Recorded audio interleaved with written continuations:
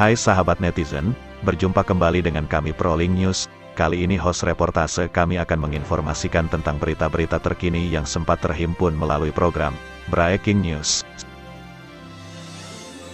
Baik, terima kasih. Assalamualaikum warahmatullahi wabarakatuh. Selamat siang dan salam sejahtera bagi kita semua. Adil Katalino Bacuramin Kasaruga Basengat Jubata. Ini salam daya. Hormati Bapak Sekjen Majelis Adat dan Nasional, teman-teman pers yang saya cintai, saya banggakan, e, menyikapi pernyataan Bapak Edi Mulyadi, ya mantan caleg gagal dari PKS, yang sudah membuat pernyataan tanggapan terkait dengan eh, undang-undang ditetapkannya undang-undang IKN beberapa waktu yang lalu dan menetapkan uh, Penajam Pasir Utara, Kalimantan Timur sebagai uh, ibu kota negara baru dengan nama Nusantara. Beliau uh, mengkonotasikan uh, pilihan terhadap ibu kota negara baru ini dengan sebutan kata-kata yang uh, sangat tidak pantas. Tempat jin buang anak, tempat gondoruo, tempat monyet, dan seterusnya. Tentu hal ini sangat menyinggung perasaan masyarakat dan sampai hari ini eh, kami sendiri dari eh, anggota DPR terutama saya kemudian sebagai juga pengurus Majelis Adat Daya Nasional eh, hari ini bersama Pak Sekjen Majelis Adat Daya Nasional nanti beliau bisa menyampaikan lebih jauh sikap masyarakat Kalimantan terhadap pernyataan Edi Mulyadi ini. Kami berharap aparat keamanan secepatnya mengambil langkah-langkah yang dipandang perlu karena laporan polisi sudah disampaikan. Yang bersangkutan memang sudah menyampaikan permintaan maaf ya. Namun uh, dalam permintaan maaf itu pun saya menilai ya kami menilai uh, cara penyampaiannya pun uh, sangat tidak sopan. Kemudian yang dijelaskan juga yang menjelaskan juga adalah orang lain. Uh, menurut kami ini sebuah kebiasaan. Dan sosok Edi Mulyadi ini memang kita tahu ini kontroversi ya. Sudah berulang-ulang kali melakukan hal seperti ini. Sudah berbuat salah minta maaf lalu selesai. Kali ini dia berurusan dengan masyarakat Kalimantan. Kami tidak mau masalah ini selesai begitu saja. Dan masyarakat Kalimantan menuntut keadilan atas sikap penghinaan yang sudah Edi Mulyadi sampaikan dan saya harap sebagai anggota Dewan Perwakilan Rakyat Republik Indonesia untuk meredam uh, sikap masyarakat lebih jauh yang menyikapi secara keras uh, ucapan saudara Edi Mulyadi ini berharap aparat kepolisian segera memproses laporan laporan masyarakat yang sudah melaporkan saudara Edi Mulyadi ini. Kita berharap jangan sampai nanti masyarakat Kalimantan menggunakan caranya sendiri karena dianggap polisi tidak atau aparat penegak hukum tidak melaksanakan tugasnya sebagaimana mestinya yang diharapkan oleh masyarakat. Demikian, terima kasih.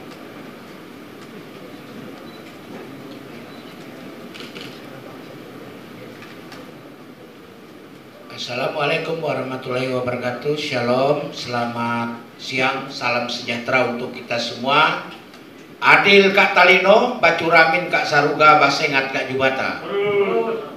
Bapak Ibu Saudara sekalian Saya hadir di sini karena mendampingi Bapak Lasarus selaku anggota Majelis Kehormatan Dan beliau adalah tokoh nasional.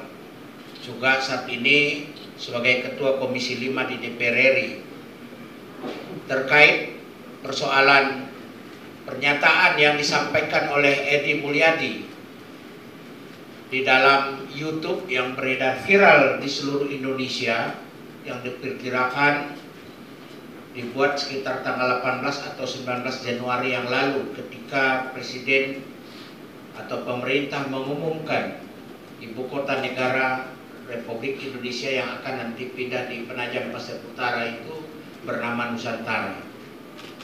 Bapak Ibu Saudara sekalian, kita kami sebagai masyarakat Kalimantan selama ini tidak pernah mengusik, tidak pernah memberontak terhadap negara, tidak pernah melakukan hal-hal yang melanggar. Itu Kalimantan. Kami welcome terhadap apa pun demi kebaikan bangsa dan negara termasuk pemindahan ibu kota negara yang sudah dirancang oleh proklamator kita ya, Bapak Insinyur Soekarno. Dan bahkan bukan barang baru pemindahan ibu kota negara. Di dalam sejarah perjuangan bangsa kita juga melihat ketika situasi dalam keadaan gawat darurat presiden memindahkan ibu kota negara. Walaupun waktunya tidak lama, baik di Jogja, baik dia di Bukit Tinggi kah, di mana, di Padang kah. Dan tentu juga pemindahan ibu kota negara ini bukan sesuatu yang haram. Puluhan negara di, di dunia ini sudah melakukan itu, termasuk Amerika Serikat, Australia, Brasilia, Malaysia, bahkan tetangga kita di Petra. Mengapa pemindahan ibu kota ini dipindah? Tentu melalui kajian yang luar biasa mendalam dan sudah dipikirkan. Dan kami harusnya yang menolak kalau kita mau berbicara persoalan di mana bu ibu kota negara ditempatkan. Karena tentu kekhawatiran bagi kami banyak. Ketika nanti tanah-tanah kami, peradaban-peradaban kami, anak-anak kami nanti akan menghadapi persaingan yang belum siap dihadapi oleh masyarakat kami. Seharusnya kami yang banyak berbicara. Tetapi karena ini keputusan negara, keputusan pemerintah, kami selaku Majelis Adat Nasional mendukung sepenuhnya pemindahan ibu kota negara itu. Tentu dengan catatan mohon masyarakat yang berada di sekitar di sana dan di Kalimantan untuk diperhatikan, diberi kesempatan untuk ikut ambil bagian, berpartisipasi dengan kedudukan yang sama di dalam pemerintahan dan hukum. Nah terhadap video tersebut tentu kami Majelis Adat Daya Nasional yang sudah didesak oleh seluruh Dewan Adat Daya Provinsi se-Indonesia, Dewan Adat Daya Kabupaten se-Indonesia, dan seluruh tokoh-tokoh masyarakat Dayak. Agar persoalan ini atas pernyataan yang disampaikan oleh Edi Mulyadi yang sudah merendahkan martabat bukan melecehkan seluruh masyarakat Kalimantan Bahkan Kalimantan sendiri sebagai tempat yang kita lihat yang viral dijadi dikatakan sebagai tempat yang tidak layak untuk manusia yang layak untuk monyet yang layak untuk anak jin ditempatkan genderuwo dan sebagainya. Ini berarti sudah ada di situ kebencian-kebencian perasaan kebencian mengadu domba.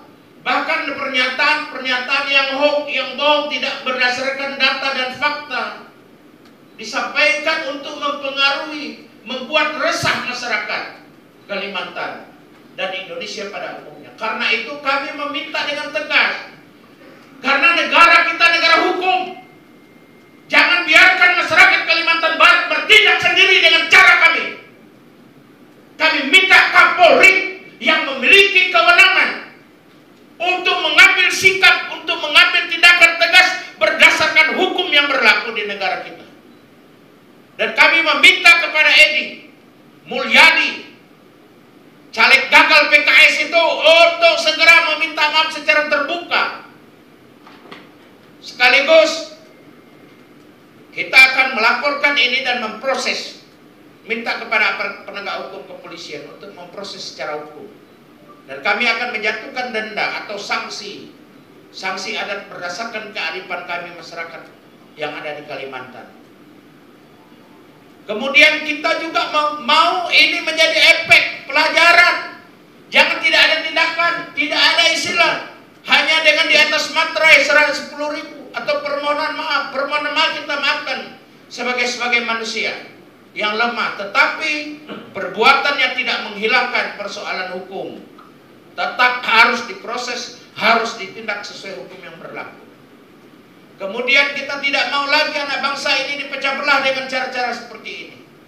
Kita sudah memulai bangkit dengan ibu kota berharap ibu kota negara yang baru ini bisa memberikan kecerahan, bisa memberikan sebuah harapan baru supaya Indonesia ini semakin maju, semakin jaya, semakin mandiri dan menjadi negara diperhitungkan di tengah-tengah dunia. Jangan kita saling beradu satu sama lain, mengejek, menghina, mencaci maki. Justru apa yang diambil oleh negara ini, oleh pemerintah sudah melalui kajian kita dukung bersama. Tingkatkan rasa persatuan kesatuan kita sebagai anak bangsa untuk menghadapi persaingan global yang lebih luas lagi nanti dan lebih tantangan dalam bentuk berbagai tantangan yang dihadapi. Karena itu kami dari Majelis Adat Nasional pada hari ini akan melaksanakan rapat mengumpulkan seluruh pernyataan-pernyataan informasi yang disampaikan oleh semua pengurus lembaga adat, baik Dewan Adat Dayak, para damang, temenggung, tokoh-tokoh masyarakat, ormas, LSM, paguyuban, bahkan beberapa suku yang ada di sana. Dari rekan-rekan kita yang Melayu, yang Madura, yang Jawa, yang Bugis juga sudah membuat pernyataan sama pendapatnya, mengecam keras pernyataan Edi Mulyadi yang sangat bertentangan dengan etik sosial dan adat istiadat yang berlaku di Kalimantan. Nah karena itu kepada rekan-rekan wartawan, mari kita bela kebenaran, keadilan ini demi Indonesia yang lebih baik. Karena kami tidak ada apa-apanya tanpa bantuan dan disuarakan oleh saudara-saudara wartawan yang memiliki sebuah profesi untuk menegakkan kebenaran, menegakkan keadilan di bumi Indonesia ini. Saya kira demikian dan kami berharap supaya kepada yang lain menjadi pelajaran karena kami juga bagian dari bangsa ini berikanlah kesempatan kepada pemerintah untuk membangun ibu kota negara baru yang bernama Nusantara sebagai ibu kota negara. Terima kasih atas perhatian kita semua. Semoga Allah Subhanahu wa taala Tuhan yang Maha Kuasa memberikan kekuatan perlindungan kepada kita dan satu lagi kami pesan kepada pimpinan Partai PKS kalau memang itu bukan kadernya atau apa segala, ya mungkin kalau dia masih buat saksi supaya jangan ada kader-kader semacam itu hidup di muka bumi ini. Terima kasih. Kemudian saya tadi sudah menghubungi Bapak Presiden MDN, kebetulan beliau lagi ada tugas di luar, dan menyampaikan pesan Presiden MDN kepada masyarakat yang ada di Kalimantan, khususnya masyarakat Dayak yang saat ini sangat bereaksi kuat, keras untuk tetap tenang dan menyerahkan persoalan ini kepada prosedur hukum yang berlaku supaya pihak aparat kepolisian, penegak hukum dapat bekerja dengan baik.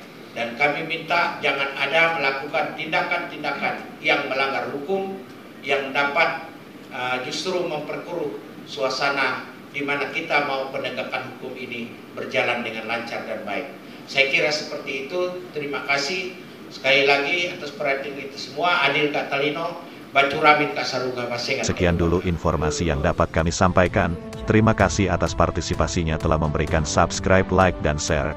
Jangan lupa tekan tombol loncengnya supaya netizen dapat mengikuti perkembangan berita-berita terkini dari Proling News.